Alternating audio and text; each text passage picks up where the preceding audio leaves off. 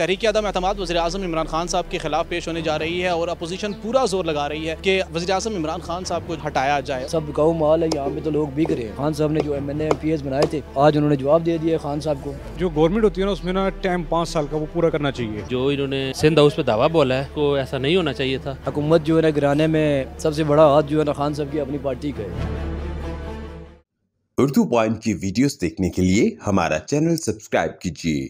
और बेल के आइकन पर क्लिक कीजिए ताकि आप हमारी तमाम आने वाली वीडियो से बाखबर रह सकें। अस्सलाम वालेकुम नाजरीन, आप देख उर्दू पॉइंट और मैं हूँ आपका मेज़बान मलिक अलीज़ार नाजरीन, गर्मी का मौसम तो शुरू हो चुका है, लेकिन शहर इकतदार में भी बहुत ज़्यादा गर्मा गर्मी होने जा रही है। तहरीक अदम अहतमाद वजी अजम इमरान खान साहब के खिलाफ पेश होने जा रही है और अपोजिशन पूरा ज़ोर लगा रही है कि वजी अजम इमरान खान साहब को जो है वो हटाया जाए। और दूसरी जानब, पाकिस्तान में जो चीज़ें होने जा रही हैं, जिस तरह तेईस मार्च की परेड है और ओ सी कॉन्फ्रेंस इस्लामाबाद में होने जा रही है, इस हवाले से ये जो जलसे जुलूसों का ऐलान हैं, इनको भी जो है वो लोग क्या कहते हैं इस हवाले से? और लोग जो है इस तहरीक अदम अहतमाद के हवाले से क्या कहते हैं, आइए जानते हैं। ये तो बिल्कुल कामयाब हो जाए, ये तो कल कामयाब करा देंगे। क्योंकि सब गाँव माल है, यहाँ पे तो लोग बिक रहे हैं। खान साहब तो अकेले रह गए, उन्होंने हल्फ उठाया हुआ है सबने तो अभी सब जो है ना, तब्दील हो गए उनने जो खान साहब ने जो एम एस बनाए थे। तो आज उन्होंने जवाब दे दिया खान साहब को। बिल्कुल तनख्वाह छोड़ दी है। तो हम तो खान साहब के बिल्कुल साथ खड़े we stand with prime minister मुझे बताएँ, क्योंकि अभी आज जहांगीर तरीन के जो नाराज़ अरकान थे, उनके साथ भी हुकूमत के साथ बातचीत चल रही है तो वो भी शायद वापस आ जाएँ। और इमरान खान ने भी कहा है कि जो नाराज़ हो गए हैं, या जो बिक रहे हैं तो उनको मोहलत दी गई है कि वो वापस आ जाएँ तो उनको माफ़ कर दिया जाएगा। क्या कहना चाहेंगे इस हवाले से? जी, ऐसा ही है, बिल्कुल, लेकिन मुझे ये लगता है कि कोई भी वापस नहीं आने वाला। खान साहब को सब छोड़ देना है, और हुकूमत जो है ना गिराने में सबसे बड़ा हाथ जो है ना, खान साहब की अपनी पार्टी का है, जो उनके M P M P S हैं, एम एन एस हैं, उनका है। डेफिनेटली ऐसा ही होगा कि वो पार्टी चयन कर देंगे। जिस पार्टी का वो देखेंगे जी भारी है तो वो उस साइड पे चले जाएँगे। खान साहब को तनख्वाह जोड़ देंगे, क्योंकि उनको पता है कमर गिरने वाली है। तो तब्दीली यानी दूसरी तरह लगा रहे हैं। तहरीक अदम अतमाद जो ये सारी पार्टियाँ इकट्ठी हो गई हैं, एक तरीके से देखा जाए तो मेरे ख्याल में गलत है। एक जो जमहूरी, जो गवर्नमेंट होती है ना, उसमें ना, टाइम जो होता है, पाँच साल का वो पूरा कर करना चाहिए। ठीक है? तो पाँच साल के बाद देखते हैं कि इमरान खान ने क्या किया, क्या नहीं किया। फिर वो जो छः महीने, आठ महीने, दस महीने रह जाएँगे, फिर वो प्राइम मिनिस्टर बाद में ये कहेगा, जी, मुझे पूरा टाइम नहीं दिया गया एक जो जो टाइम पीरियड है, वो पूरा नहीं मिला। तो वो फिर उस पर बहस ना हमारी वहाँ पर चलती है। तो मेरे ख्याल में सियासी जो जमातें हैं, जो, जिन्होंने इतिहाद किया, जो गठजोड़ किया है तो उनको चाहिए कि इसे कहें, चलें, आप अपना टाइम पीरियड पूरा करें।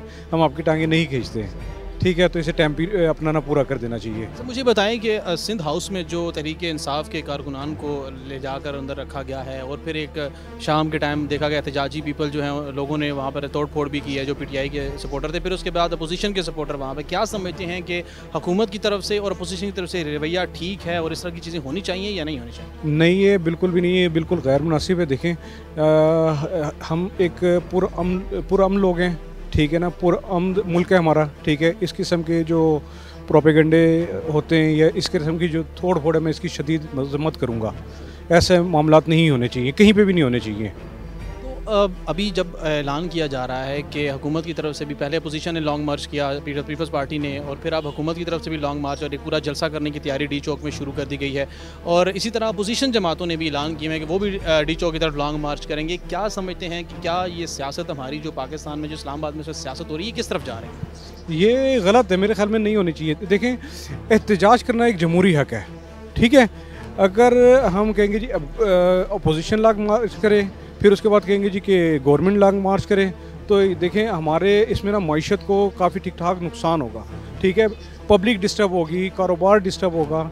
ठीक है? तो उसके बाद हमारे काफ़ी सारे मामला जो है ना, वो डिस्टर्ब हो जाएँगे।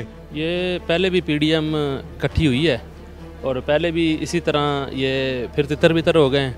और अभी भी मेरे ख्याल में ऐसे ही लग रहा है कि अभी भी पी डी एम कामयाबी की तरफ़ नहीं जा रही। देखते हैं अभी क्या होता है। लेकिन ये है कि जो इन्होंने सिंध हाउस पर दावा बोला है उसको ऐसा नहीं होना चाहिए था क्योंकि ये हुकूमती जमात है और इसलिए इनको ये ऐसा नहीं करना चाहिए था। क्या समझते हैं कि इमरान खान साहब हुकूमत पूरी करेंगे या फिर क्या तरीके अदम अतमाद कामयाबी की तरफ़ अगर होती है तो फिर इमरान खान जाएँगे?